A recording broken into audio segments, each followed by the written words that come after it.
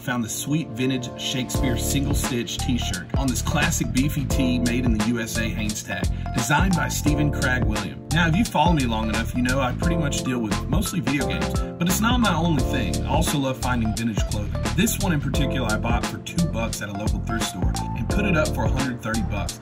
After much negotiation, I took a $90 offer. Now I was trying to figure out why this was worth so much. Come to find out there's an indie rock band called DIIV, and on their most recent music video, Doused, their drummer can be seen wearing this exact same t-shirt.